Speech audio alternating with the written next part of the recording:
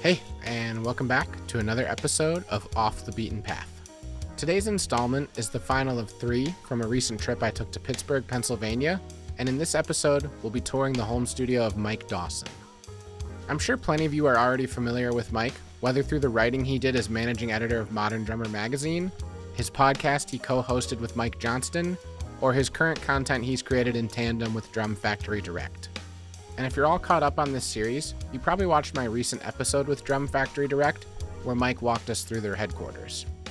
In addition to all of his work within the drum industry, Mike is also an active performer and session musician. The space he's built at home for creating content, live streaming, and remote sessions is a great example of how productive you can be with a spare room in your house. Before we get too far into the video, I want to remind you that I'm creating new episodes in this series each month so if you want to be the first to know when I release new videos, please consider subscribing to my channel. And with that said, let's take a look inside Mike Dawson's home studio. What's up? Hey, Mike. Welcome to my laundry room. Yeah. Huge, vast 12 by 12 office. But the good thing is the ceilings are about eight feet. That's kind of rare in a basement. Well, before we get too far into the space and talking about everything you do in here, could you just give me a brief background on how you got started with drumming and how your career has gotten to this point? How brief can I make it? I started playing drums when I was nine because Living Colour put out their first album, Vivid. I was in fourth grade. I was at a table with two boys who had drums and a girl. I did not have drums. They kept talking about drums and how cool Living Colour was. I wanted to be able to impress the girl that at our table, so I got drums that Christmas, 1988, nine years old. That started it. So the whole time, my whole life as a kid was like punk rock and trying to be a rock star, and then also going through the academic side, which is really cool. I had some great teachers, some great mentors, but I kind of kept, I kept one foot in the indie rock punk world at all times to kind of remind myself like what I wanted to do because I, I could have gone down the classical world super deep, but I just wanted to rock out with my friends, you know. Played in like regionally successful rock bands. Actually, the actor Sean Hatosy was the lead singer in my band. I was teaching private lessons. I was in the marching band. I was in the All-State Orchestra.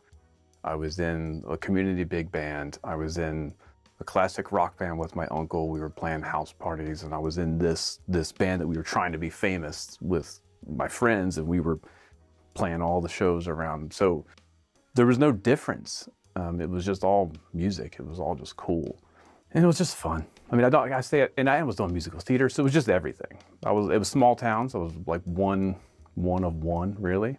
So yeah, for me, it's always been pursuable, and it's still that way. I still have original projects and I work for hire and you know I teach and it's just I don't know how you could specialize. So I do envy my friends like Mark Guiliana who says you know he said years ago I'll, I will never play a cover band gig. That's just not what he's going to do. Cool, he made it work. I can never make that work. yeah, and I think myself too. It's like I live in a smaller market. And I think I could play a lot of live jazz or one narrow genre, but I definitely couldn't make a comfortable living right. and be on call any given night. You know it's diversity was important in the kind of work i wanted to pursue in my area so. Yeah and finding something that's cool about everything. I don't love playing weddings but there's something cool about it you know like i'm playing to a click so that's a whole other challenge. And sometimes the leader's throwing the click on in the middle of a song just to make sure we're correct you know like those things like that's that's some experience that you're not going to get in any other situation. Exactly yeah my parents were like, well, if you're going to go to school for music, what are you going to do when you're done? You got to have a job. So that was the compromise. I'll get a music ed degree. But when I was student teaching, right before I graduated, I realized this is not in any way, shape, or form what I want to do with my life. I took a couple years off, gigged, went to grad school at University Arts in Philadelphia, strictly for jazz studies masters. That's when I met um, Rick Van Horn, the former senior editor of Modern Drummer. He was teaching there at the time, and I was assigned to be his graduate assistant. So he also taught a class, music journalism, and I was in that class. So I just realized I had a talent for that. And he called me out like halfway through the semester, like you, your, your natural ability to edit is like really, really good. So I want to keep you in mind if we ever have a position open. So literally the week after I graduated, they offered me a job at Modern Drummer. So I can't say I, I had anything to do with that. it was just the universe like kind of funneling me, steadily funneling me to this opportunity. Uh, yeah. And, and I just took it very seriously and it turned into a career. So I was at Modern Drummer for almost 17 years and I, as soon as I got the gig, my number one thought was every time I get a chance to interview someone, I'm going to treat it like a private lesson. So whoever it is, I'm going to go as nerdy as I need to to feel like I'm I'm growing as a as a drummer, as an educator, as an artist for that experience. So yeah, interviewing Benny Greb for a couple hours and Steve Jordan hanging out at the Hit Factory in New York for like three hours, interviewing him. I actually played while he was doing his photo shoot. I was playing piano with him. So getting to feel what it's like to play with Steve Jordan, I'm still trying to process all that information that I gathered. I mean, all my heroes except for Vinny Colaiuta, I've interviewed. Matt Chamberlain, Glenn Kotche, and even the ones that I didn't really know ahead of time. Zach Hill, Chris Adler with Lamb of God. So yeah, it was unreal. But I took that very seriously as well. Like I'm not just gonna ask the simple questions. I wanna ask like the real stuff. Steve Jordan, how do you know something's grooving or not? I asked him that. His answer was amazing. If you have to ask that question, you're probably not grooving. Yeah. After you wrapped up your time at Modern Drummer, that's when you came out here to Pittsburgh, right? Since we all worked remote, my wife and I were able to consider where we wanted to live. Like we didn't have to live in New Jersey anymore. So we started looking at Pennsylvania. Right around that time, I got a random LinkedIn message, which I never checked LinkedIn ever. For some reason, I went on LinkedIn and there was a direct message uh, from this guy, Matt, asking me if I'd be interested in writing product descriptions for a website, Drum Factory Direct. And he sent me links to stuff like in the style of like this. Like we want some long form articles and product descriptions, and here's some things that we're thinking of. All the links that he had sent me went back to Modern Drummer content that I had either created or was the lead editor on. He didn't he didn't realize that he was talking to that person. Was like, well, that's cool because that was my story. So let's go. Yeah. Let's do it. Originally it was freelance. We just need someone to do rewrite descriptions, but then the more we talked and you realized that who I was and my experience was like, well, we actually need somebody to just head up our creative department. So let's talk full time. So I did both jobs for like three months and then finally resigned for Modern Drummer once we got settled here. And so this room we're in now is like functions not only as a place where you can play drums and live stream out of, but also like an office where you can record podcast or do work Yeah. with the computer. So this space, as soon as we moved in, um, I knew this was going to be my primary office, and I contacted Mitch over at Audimute because he had done amazing work with my buddy Carter McLean. And I just wanted to get some of these sheets. These are absorption sheets. So Mitch called me up. He's like, "Dude, nah, we're going to design you something cool." So we just got talking, and I said, "Well, I really like like I like surrealism. I like I like Monet and Van Gogh, like that style art." and his team created basically a Van Gogh background for me to, to live in every day.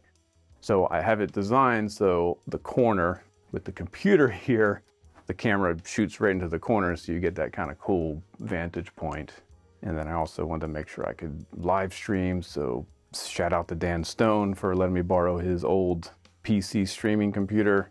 I got four cameras set up here so I can live stream, I can record quick product demos for work. I can do private lessons on Skype. It was like the Wild West in the beginning. If you go back to the first season of the Drum Candy podcast, it was in this room, but I had a clear sonic booth that I brought with me because I had that in my old house. I was using my laptop. I was recording my audio on a cheap old Zoom H2. Then I got this Yeti. So that's my mic for when I'm doing the podcast now. 'cause USB, I can actually sync it right up with Zoom. I'm about to get away from Zoom because I'm really tired of, of the way that looks and sounds. So yeah, just that old ring light. Like I've just been buying bits and pieces. Some DSLRs will shut off after 30 minutes. Yeah. So I had to get one that won't do that for, for the bot because I kept having to like go up and reset it. So I've, I've learned all the all the mistakes. Efficiency is a big factor. It's like Yeah. I don't need the highest quality preamp and audio interface, a USB mic I can just plug in and it'll record right away. Yeah. I mean, I've spent so many years studying audio engineering that I feel like I can get what I need from whatever. Um, that was a benefit of studying that stuff in college. I mean, I, I did years of that. So I feel like I can make the audio work. It's the lighting and the cameras that's been like, how the heck do you do that? Like, I'm still, and again, it's like piecemeal. These are cameras that Drum Factory Direct had bought years ago. These Panasonics GH5, GH5S, and then some GH2s. I did invest in some nice Amaran 100Xs. It's it's never ending. That side of it is, but it's fun. Like I like to discover something that I can't do and how do I figure it out. So that's fun to me. But I did keep this particular setup cheap, lo-fi, simple, deliberately, audio-wise. So I don't want to use this space for multi-track recording, although I could. Really cheap old Alesis iMultiMix 8, which has an, uh, an old iPod freaking recording. Oh, a stand. Yeah, that's how old plug. it is. So I'm literally running a bass drum mic, Beta 52A, a blue Dragonfly overhead. That's my microphones. Into that iMultiMix. And then I have the Yamaha E E8010, which has a stereo mic. And then I run all that into, just because I had it, this cheap EQ, and I have this cheap compressor limiter. And it goes into this interface, two channels for OBX. It's always tweaking though, so who knows what it'll be. And I'm like, I've never, this drum set is ridiculous. You came at a weird time to see me with 8, 10, 12 with hydraulic heads on it. So this is just my, my fun house. Every week it's a different snares, different cymbals. I just got these 15s from Chris Hawthorne. You do have a few different choices here. I see another kit in the corner. Yep. And then a few snares at your disposal to swap out. you were kind of telling me before you've got another room where you do that sort of work where if you are going to multi-track or where you can pick and choose from a wide variety of instruments. Yeah, it's right behind this wall. So let's go check All it right. out. So much livelier. You can probably hear it in the uh, the microphone. But yeah, this is a 25-ish by 13 by I think eight and a half foot ceilings. Cinder block walls. So I had to deal with that. Um, so just recently, I had Mitch come back in and Audimute, and he designed this amazing um, feature wall behind the drums with some prototype material that he's working on. It's designed to look kind of like a stone. If you want to see this wall, this is the new feature wall that's going to be used for all the Drum Candy multi-person podcast episodes. And I'm also in pre-production to do product demos of every drumstick that Drum Factory Direct sells. So I'm gonna be sitting at this table doing the talking head job there. So this is the new space. I like the idea of having that room to do like rough and ready demos, but then like, do you really want to hear what this drum head sounds like with mics on it? Then we're gonna do it in here as well.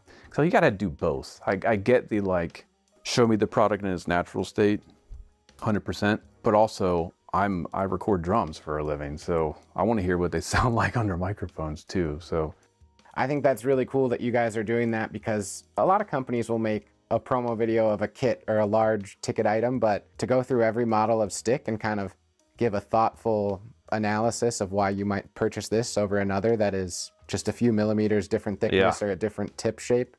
It's a big project, but I'm starting with the signature sticks because that gives us the most kind of juice to start with. You know, I, Sure. can, I can grab some content of the drummer playing them, and then the specs are usually kind of more customized. Like the, the Carter McLean stick is very that's that's a Klaus Hessler, but so I'll, more to talk about. But eventually, it's going to be every stick, describe the features, show it, play it on a cymbal, play it on some drums.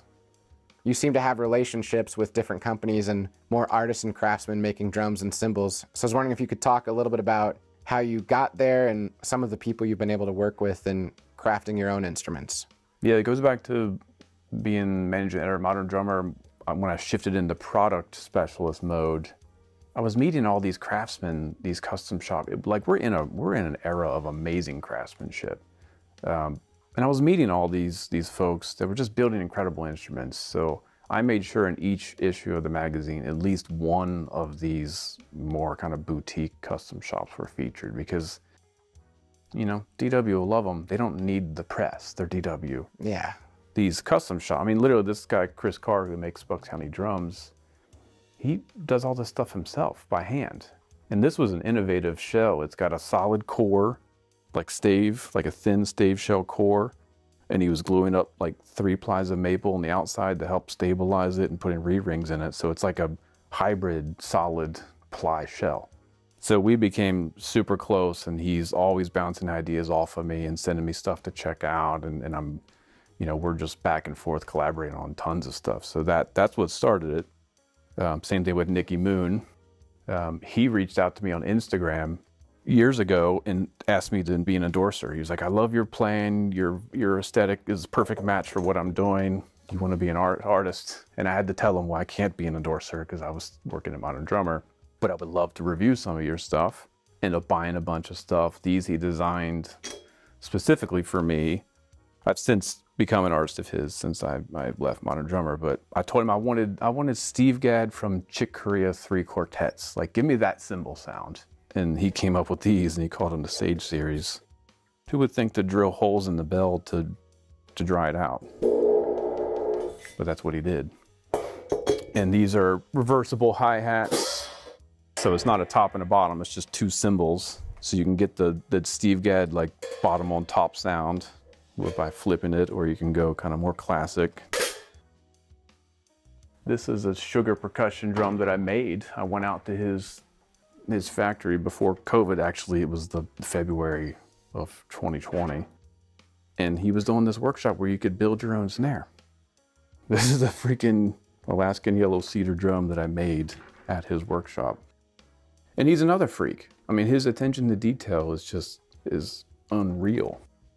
So just getting to know all these folk. Doc Sweeney, Steam Bent Elm, amazing. Masters of Maple. This drum was made for Dave Grohl, and it caused such an absolute um, PR nightmare.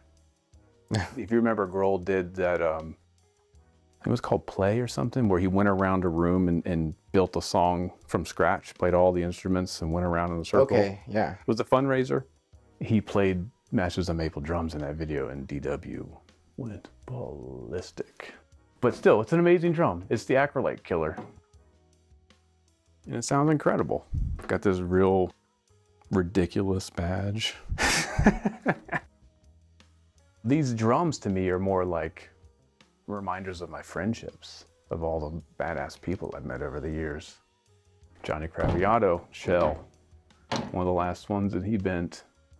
Solid Drums in Switzerland, another amazing craftsman. One dude making drums, sourcing the wood. He gives you the coordinates of where the wood came from when you buy the drum. It's just, there's so many cool people. GMS, here we go. First drum I ever had custom made for me. Von Craft used to, were like the premier solid shell maker at a time. They sent me this flamed birch, timeless timber flame birch shell. They sent me a whole bunch of shells. And they were like, just keep one of them that you like and you can build a drum out of it. At the time, it was when Keith Urban put out the song Sweet Thing, excuse me, with Chris McHugh on drums. That snare drum sound still haunts me to this day. And I emailed Chris because I'd met him through Modern Drummer, like, what drum did you use on Sweet Thing? Just tell me. He told me it was a Joyful Noise Timeless Timber Flame Birch. This shell. So I just had the raw shell and I was like, well, that's kind of cool. so I called my friends at GMS and I was like, can you just make a drum for me out of this and have it sound like Chris McHugh on Sweet Thing? and I nailed it. I probably used this drum. This is the most used wood drum that I own for sure. It's probably been on a couple hundred records.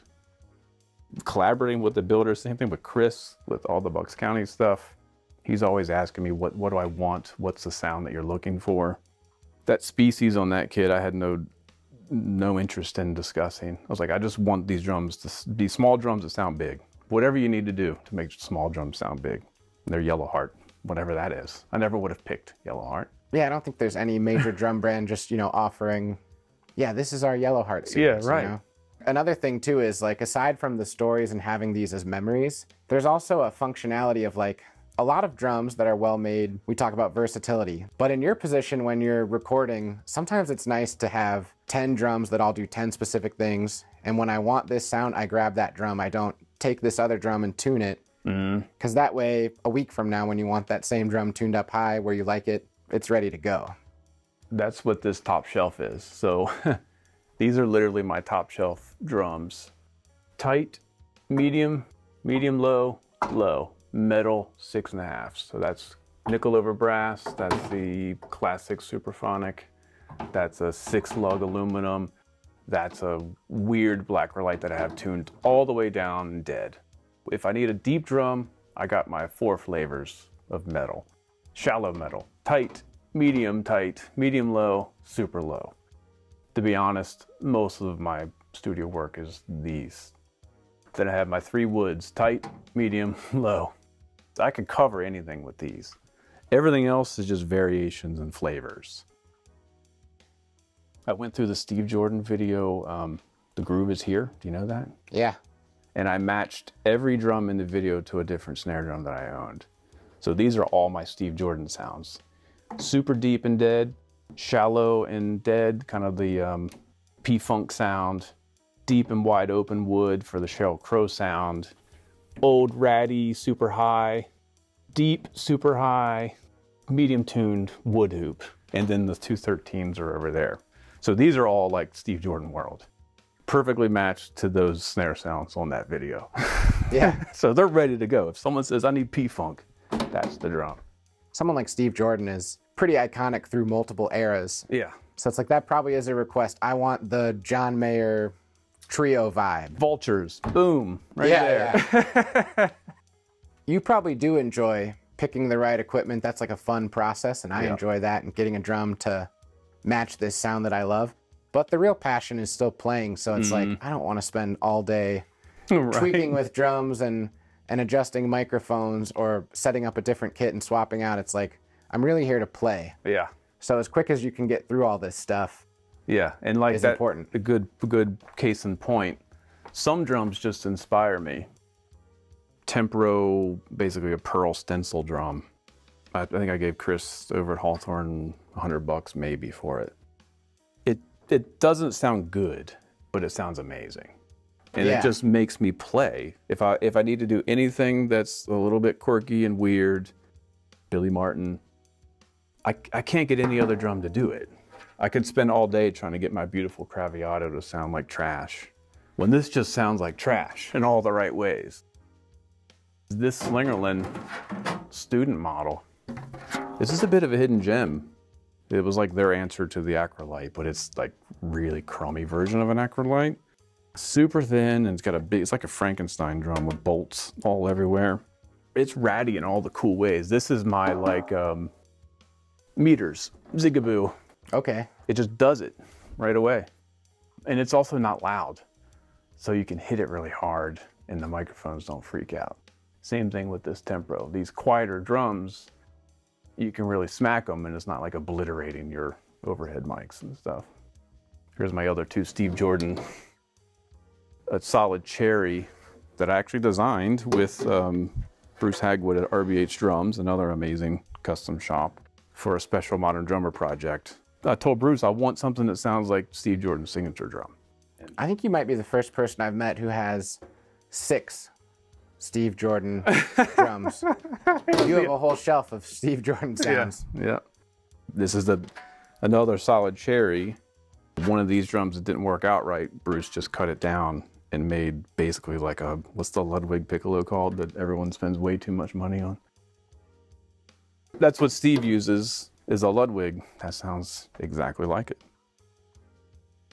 Ludwig, I think, still makes the best snare drums on the planet, quite honestly. Yeah. This is one that gets overlooked. Chrome over brass. New. B stock. You can find these for like 500 bucks. It beats my Black Beauty in a lot of ways, but you know, several hundred dollars cheaper. This was my primary gigging drum for a long time. They're amazing. Get the B stock ones. There's nothing, literally nothing wrong with them except for there's like a, a welding blemish or something inside of it. This is the Slingerland version of that from the 50s, chrome over brass. Um, someone had told me, Harry Cangany, I think, had told me that this the shell was the same as a Slingerland Black Beauty. They just chromed it. I got this out of the trash at my high school, put it together, and it was. my, It's been. I mean, I've used it hundreds, if not thousands, of gigs, and it sounds amazing. You can probably find these for a couple hundred bucks used. There's different versions. This one doesn't have the the beads, the stripes. Yeah. And then the more common version is like this one that has the three. So the 50s ones don't. There's like one one catalog when they didn't have the stripes. Slingerland is the is the black sheep, I think, of of vintage American drums, and I love them. All my vintage kits are in storage except for two of them. This one and the Ludwig over there. 1965 Gene Krupa setup with the matching solid maple snare. 13, 16, 22. Uh, exact same setup that John Bonham used on Led Zeppelin 1. Same color, actually. Wow. Yeah, that's not really what he's associated with equipment wise. But if you listen to that first record, it's smaller sounding drums. And he, he didn't use the matching snare, he used the 5x14 Supra, not the deeper one. At the time when I was starting to collect vintage drums, it was like all these baby boomers were retiring and moving to Florida. So this was on Craigslist. A family had to sell this house because they were moving to Florida. Super cheap. So I went over and met them. And the whole story was the original owner bought these in 65, enlisted in the army, never came back. They sat in his house since 1965. Like kids and grandkids had played them, they've scuffed up, but it had everything the throne, the pedals, the hi hat stand. It just sat there as like a tribute to, I guess, their grandfather who had passed away in the army.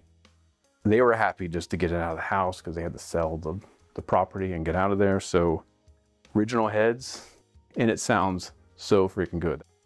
So this is a prized possession I will never get rid of. It was almost like fate. Like I, I'm supposed to have these drums. Along the same lines, this Ludwig kit here, just sandwiched between a newer RBH. This is a 68 downbeat. Is that the name of it? 12, 14, 20 I think so. Yeah. downbeat. This was my FedEx man. He had heard me playing drums, and one day he was like, I'm retiring next year and I'm moving to Florida, and I have this Ludwig drum set. I would love for someone like you to own them. So he named a price. I went over to his house, picked them up, came with a Superphonic, came with some 14 inch hi hats that are amazing. So I got this from my FedEx man, and I told him I will never get rid of it just the story alone of my the guy who'd been delivering me drums for 15 years was like you need to own my drums.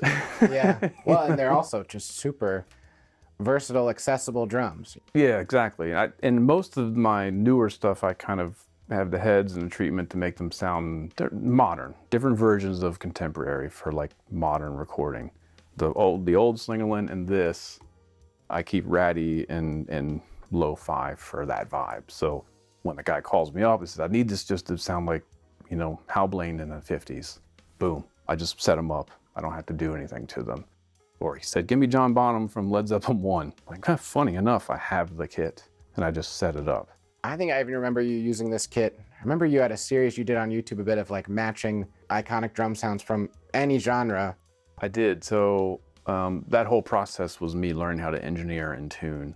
So I would do a song a week. I would I would play, you know, study it, memorize every note for note, and try to get my drums to sound as close to the original in the first three days. And then the second three days was recording it and making the video of it.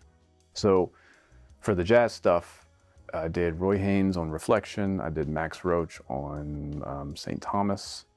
But yeah, these drums are amazing.